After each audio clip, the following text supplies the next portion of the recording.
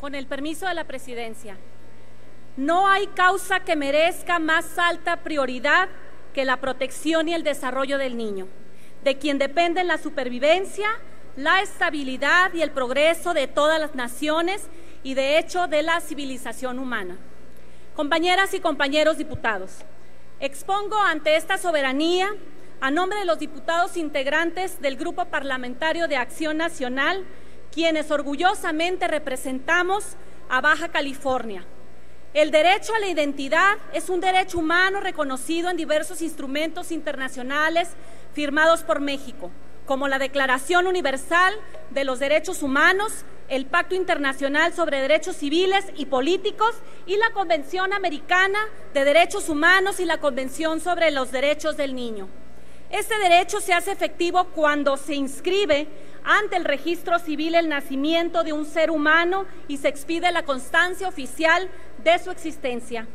Más aún, gracias a ese registro se conoce a la persona ante la ley, se le dota de una identidad y se establecen sus vínculos familiares, culturales y nacionales. La Convención sobre los Derechos del Niño señala en su artículo séptimo con mucha precisión que el niño será inscrito inmediatamente después de su nacimiento y tendrá derecho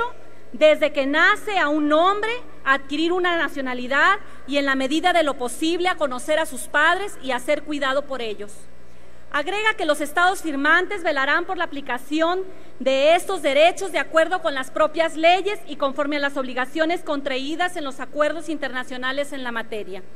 Por su parte, el estudio titulado Derecho a la Identidad la cobertura del registro de nacimiento en México en 1999 y 2009, realizado por el Fondo de las Naciones Unidas para la Infancia, destaca que la ausencia de inscripción del nacimiento en el registro civil constituye una clara violación del derecho humano esencial e inalienable de todo niño o niña a la identidad. Esta situación se confirma con casos como el estado de Chiapas, donde según datos del propio INEGI, dos de cada 100 personas, principalmente, en las zonas altas, no cuentan con acta de nacimiento, es decir, carecen de identidad. Además, la Comisión Económica para América Latina señala que alrededor de 6.5 millones de niños no cuentan con certificado de nacimiento en toda la región y cada año 1.3 millones de nacimientos no se registran. Para atender esta problemática, la Asamblea General de la Organización de los Estados Americanos aprobó que desde 2008 el Programa Interamericano para el Registro Civil Universal y Derecho a la Identidad, que busca fortalecer las instituciones del Estado responsables del conocimiento legal de las personas, tanto para promover la identidad, identidad civil universal como para garantizar una mayor confiabilidad de los documentos de identidad.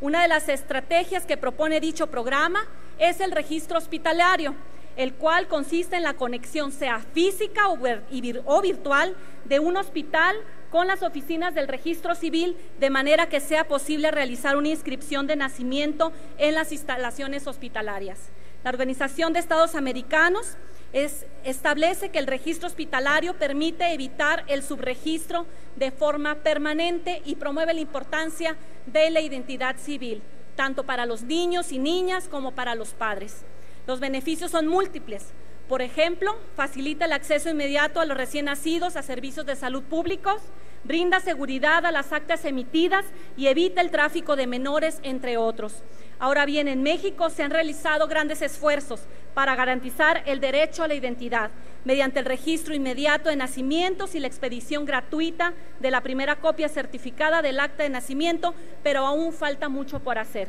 Diputadas y diputados, a partir de los resultados positivos obtenidos en el estado de Baja California, en donde se realizaron reformas legales para propiciar la inmediatez del registro de nacimientos como la participación de las instituciones de salud públicas y privadas, propongo esta soberanía la presente iniciativa que reforma el artículo cuarto de nuestra Carta Magna a fin de que en todo el país los registros de recién nacidos inicien en la institución donde tenga lugar su nacimiento y que de esta forma todos los niños cuenten con identidad en México. En este sentido, agradezco la confianza de la señora Brenda Ruacho de Vega, quien tuvo la visión de promover esta iniciativa en el estado de Baja California. Con esta reforma estamos seguros de que brindaremos mayor certeza y garantías de identidad a todos los recién nacidos de nuestro país. No más niños invisibles. Es cuanto, diputado presidente.